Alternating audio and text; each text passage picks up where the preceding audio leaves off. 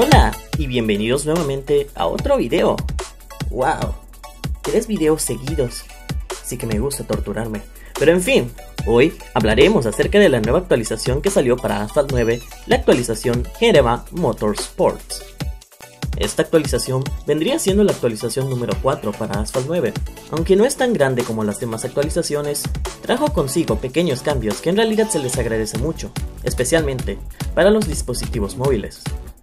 La cereza del pastel en esta actualización fue la implementación del Lamborghini Huracan Evo Spider, un auto top de clase B.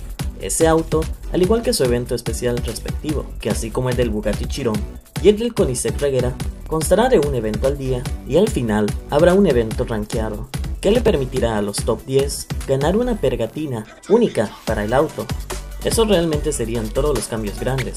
Ahora, en los cambios pequeños, Hubieron arreglos en la manera como buscas clubes. Ahora, cuando buscas un club, tratará de ordenarlo por relevancia y de acuerdo al país en donde estés.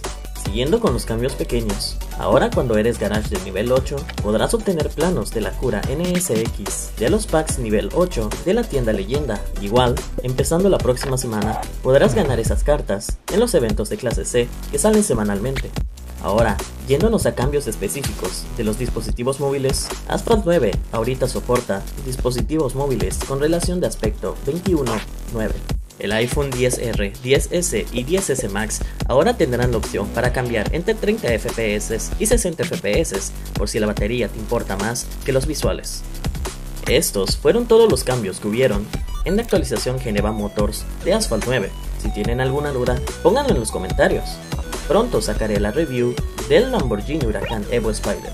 Prepárense, desbloqueen el huracán, ya que recuerden que para desbloquear el terzo milenio, Asphalt dijo que necesitarán todos los Lamborghinis del juego, incluyendo este nuevo que acaba de salir. Pisen el acelerador, manejen con cuidado, pero manejen agresivo. Sin más que decir, nos vemos, hasta la próxima.